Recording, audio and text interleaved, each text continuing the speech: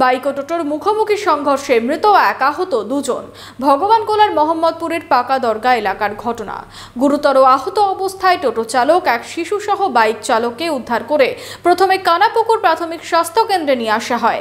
সেখান থেকে তাদের মেডিকেল কলেজ হাসপাতালে রেফার করা হলে পথেই মৃত্যু হয় বাইক চালকের। বাইক ও টোটোর মুখোমুখি সংঘর্ষে মৃত এক আহত দুই। দুর্ঘটনাটি ঘটেছে ভগবানগোলার মোহাম্মদপুরের পাকা দরগা এলাকায়। গুরুতর আহত টোটো চালক এক শিশু ও বাইক চালককে উদ্ধার করে প্রথমে ভগবানগোলার কানাপুকুর স্বাস্থ্যকেন্দ্রে নিয়ে যাওয়া হয়। আহতদের অবস্থা আশঙ্কাজনক হওয়ায় সেখান থেকে মুর্শিদাবাদ মেডিকেল কলেজ ও হাসপাতালে স্থানান্তরিত করা হয়। পথেই মৃত্যু হয় বাইক চালকের। স্থানীয় সূত্রে জানা গিয়েছে, আখরিগঞ্জ ভগবানগোলা রাজ্য সড়কে বৃহস্পতিবার দুপুরে একটি টোটো এক শিশুকে নিয়ে যাচ্ছিল। পথে মোহাম্মদপুরের পাকাদরগা এলাকায় নিয়ন্ত্রণ হারিয়ে একটি বাইক ধাক্কা দেয় টোটোতে। গুরুতর আহত হন তিনজনেই। মৃত বাইক চালক ভগবানগোলার কুচগিরিয়া এলাকার বাসিন্দা বলেই পুলিশ সূত্রে জানা যায়।